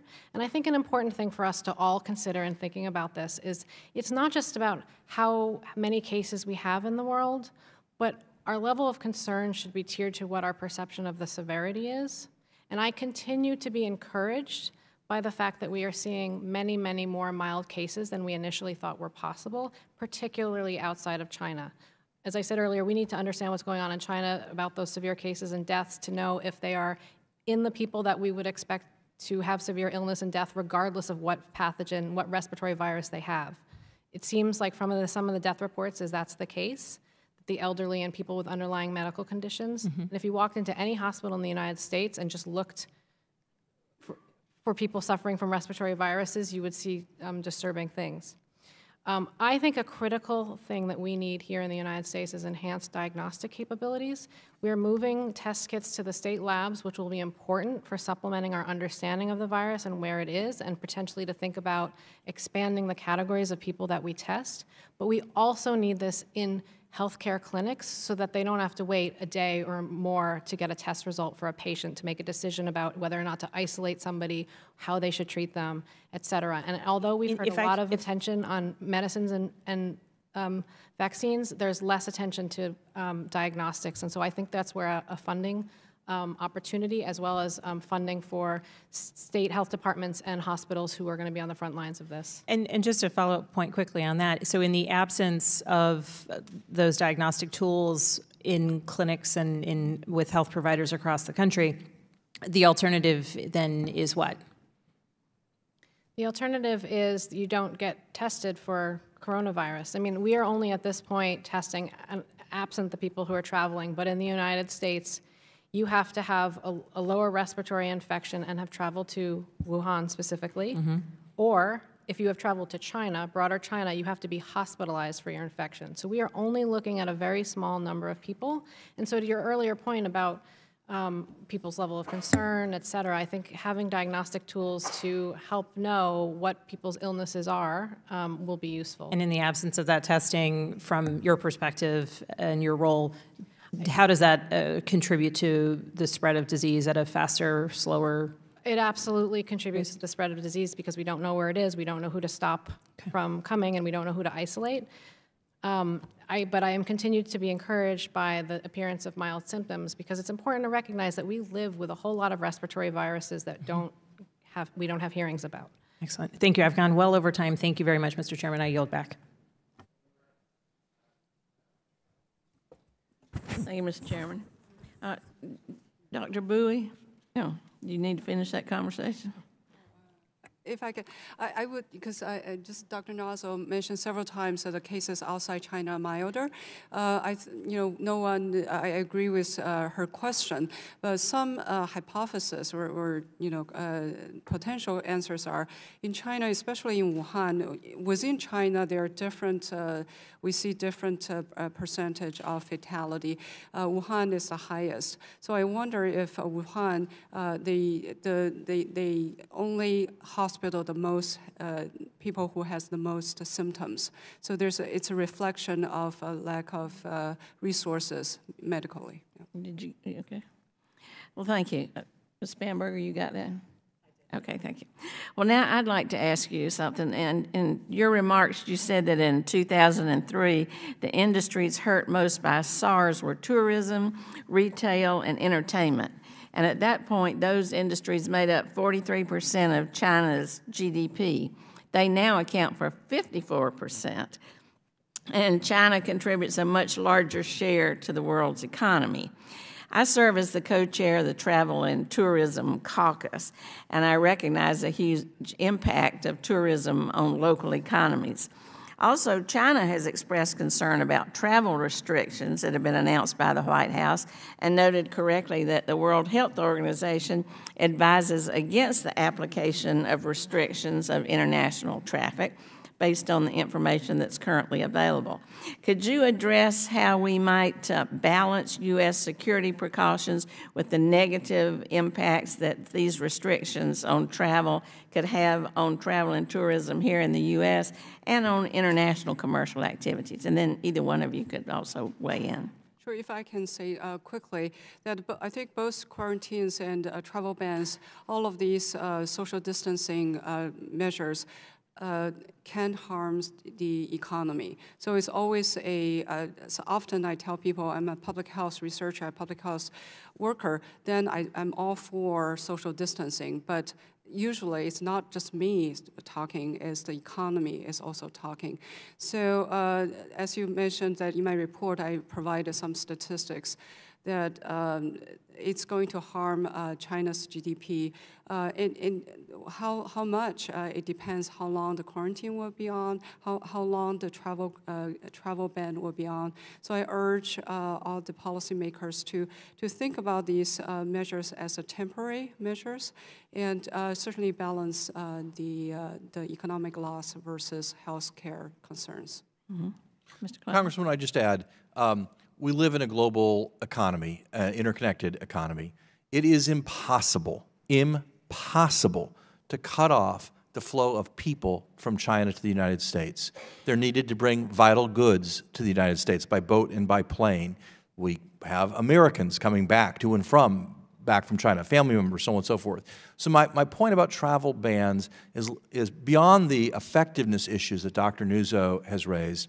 As a practical matter, we don't have one, we will never have one. And therefore, what we need to do is to monitor the people who've been in China recently, who are here in the U.S., and impose public health measures on a, on a very large scale. This is a complicated, it's a hard problem to uh, detect if those people get sick, to isolate them, and to treat them. That's the, that, this isn't about academics. It's the only practical solution on the facts we face here. Dr. Nuzzo. I was just reacting to the, the, the notion of monitoring, and I um, agree that it's a preferable um, approach mm -hmm. than the restriction of travel and the quarantines. Um, I am less optimistic about the impact of those measures, and just reflecting on Ebola, that we monitored 30,000 individuals and found not a single case of Ebola, and yet those um, programs that were essentially necessarily stood up overnight um, in many respects, diverted resources from, I think, more important work. So I, I used to be a public health practitioner, so I'm thinking from the, the, the field mm -hmm. and what it means for them. Um, you know, these measures are only as effective as people believe in their utility. Uh, there was a important paper where a bunch of um, clinicians were monitored for their symptoms for Ebola upon returning, and um, a large a surprisingly large percentage of them reported that they lied about their temperatures because they didn't believe that they should be monitored. So nothing is perfect, um, and if that's where we need to go, I, I truthfully, from an epidemiological perspective, think that those approaches are more about politics than, than public health. But um, if that is what is needed to be done to provide assurances and to make people feel better, um, then I, in my view, it's potentially less resource intensive than some of um, what I've also heard proposed. Well, not only does uh, travel ban or uh, restrictions or monitoring impact the economy, doesn't it also make it more difficult to share information so that we can address the outbreaks quickly or get international cooperation from others addressing the problem? So I'm deeply concerned about penalizing countries that report cases. And when you implement travel bans or trade restrictions, that is a penalty. Um, China may be able to handle it, but other countries around the world are watching who haven't yet reported any cases. And I can imagine they're seeing what's playing out and thinking, is it in their best interest to tell, to even look for cases, first of all? So uh, that's something that I'm particularly concerned about. I also agree with all the statements that have been made about the importance of gaining access to data in China. I particularly think uh, trying to understand the severity is a, is a um, matter of priority, and I don't truthfully understand what the rate limiting step is. I'm not. I'm not sure that it's that they don't have the right epidemiologists or scientists. I think China is actually quite capable. The fact that they have pumped out many Lancet and New England Journal of Medicine papers does not signal to me a lack of expertise. I wouldn't be surprised if we see a paper next week that tells us more than we already know. Um, but I think that this is critically important, and we should do everything in our power to make sure we continue to incentivize the flow of information. So it affect, negatively affects the economy, travel and tourism, negatively affects our ability to get information, negatively affects our ability to cooperate with other countries. And finally, we have in the past sent healthcare workers to other countries where these outbreaks occur, like Ebola. But now, with this new approach of bringing people home, that cuts off that uh, assistance as well, doesn't it? And just to add to that, um, what happened in Ebola, even the threats of quarantines for healthcare workers actually uh, put a chilling effect on the number of doctors and nurses who were willing to go volunteer, essentially put their lives on the line to fight a deadly virus. Um, just the prospect of coming back and having to, in addition to the time away from their families and their jobs, then be put into quarantine. Um, that's another concern that I have. If, if I could just could very quickly, I- I think it's important that public health and scientific analysis drive these decisions, not politics. So the same day that we quarantined a charter plane of Americans coming from Wuhan, that same day, planes landed at airports all over this country, bringing people from China to airports all over this country. Okay, and so it's it's you know I just think that these these policies about travel restrictions and quarantines, which I understand why they're politically compelling.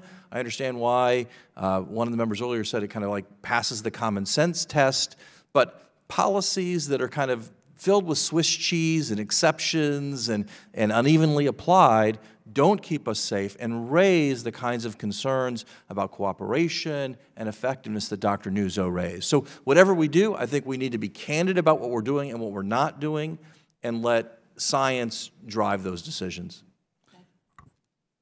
Great. Let, let me take the chair's liberty here um, and give each of the witnesses a, a minute or two. If there was anything we didn't ask that we should have been asking or thinking about, or that would be in the public's interest of, of asking, maybe we'll start with you, Mr. Klain. Um, if, again, a minute or two, just. uh, Yeah, ju- what I would say just very briefly is Congressman Sherman said uh, before we left that we have a tendency to overreact to these things. And what I'd say is it's actually more complicated than that. We have a tendency to overreact in the short term and then underreact in the long term. Uh, in, after the 2001 anthrax attacks, this body appropriated billions of dollars to prepare for a potential pandemic, and most of those investments were frittered away because they weren't followed up. Most of that was gone when I took over the Ebola response in 2014. This body then put billions of dollars into responding to Ebola very effectively. And yet, before the coronavirus outbreak, we were, we were set to see the National Hospital Network that protects us from these infectious diseases expire in May without being renewed. So, what I would say is we should address this crisis or this challenge immediately, but also make the consistent, long term investments in pandemic preparedness and response that are vital to keep this nation safe over the long run. Again, I think the Connolly Chabot bill is a good start on that. There are many other proposals, but I think it's, it's consistent focus that really keeps this country safe. Great. Dr. Bouey, if there's anything that we left out or we should have asked.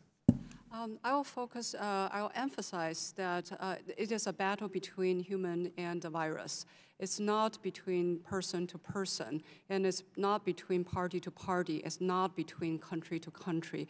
I really hope that uh, global health should be a area uh, for research, for healthcare, uh, collaborations that's beyond uh, all the conflicts. I think it needs a long-term investment, not only in the infrastructure, but also in collaboration, in capacity building. And I hope no matter what happens between the two countries, between the two, two parties, that this area can be protected because this is critical for uh, all, every country, for all the human being. So this should be more than uh, just pointing fingers, but it, this is a time for collaboration. Thank you, Dr. Bouey. Dr. Nuzzo. As I mentioned in my remarks, I'm increasingly of the belief that this virus um, is not something that we can stop at borders, that we cannot contain it, that we should um, be probably shifting our focus to one more of trying to mitigate its spread and, and mitigate the impacts.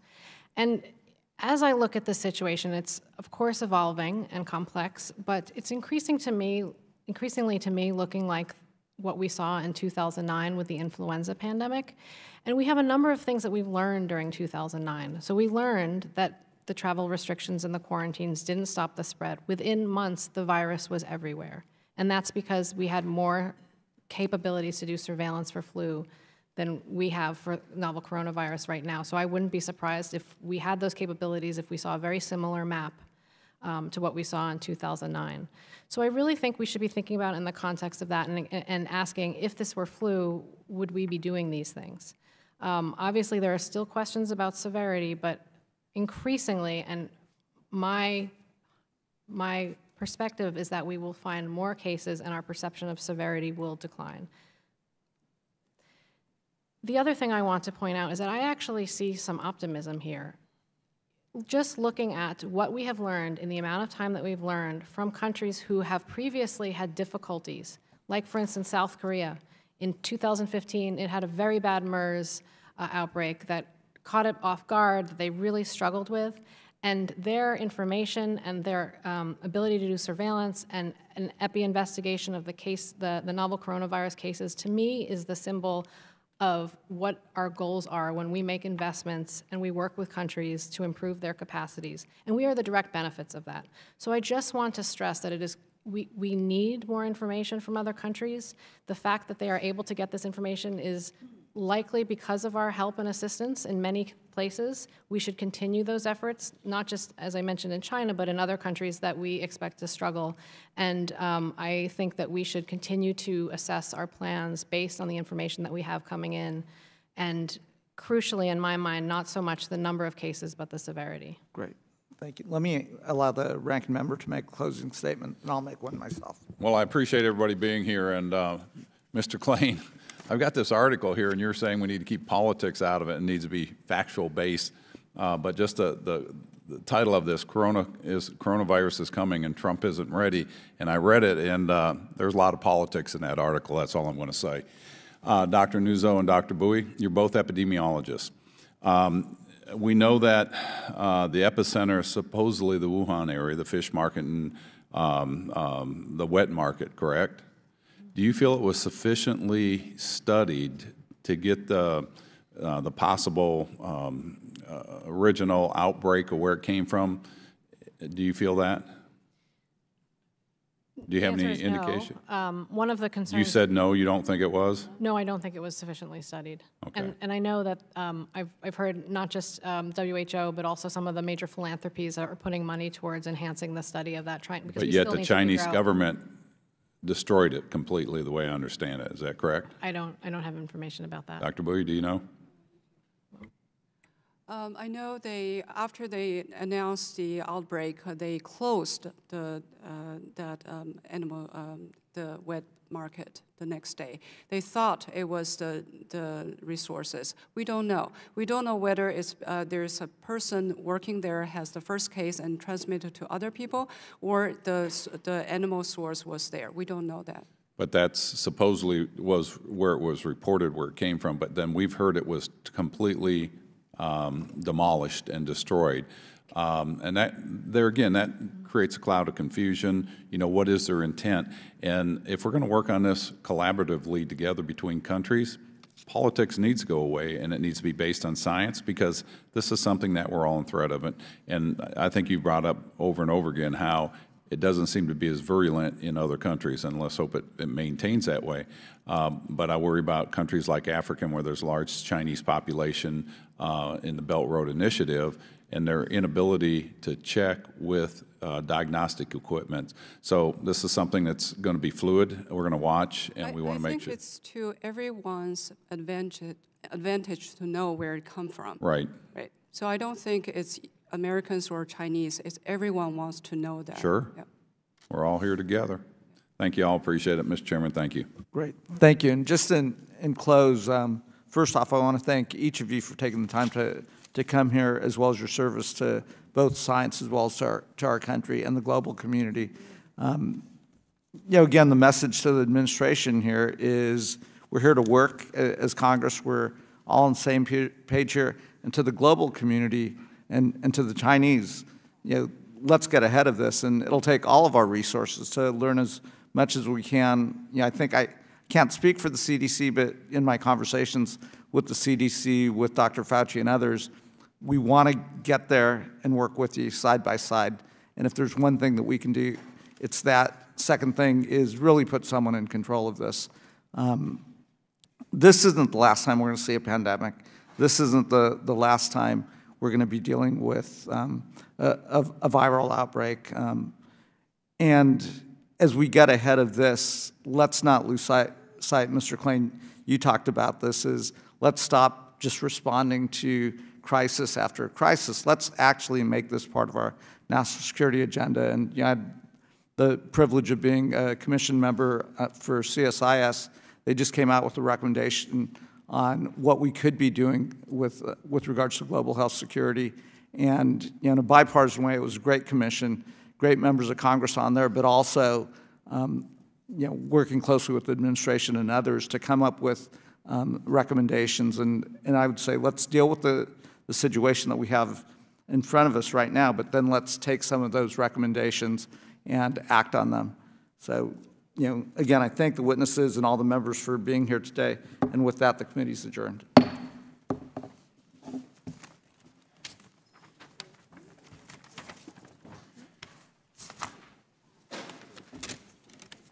You'll grab.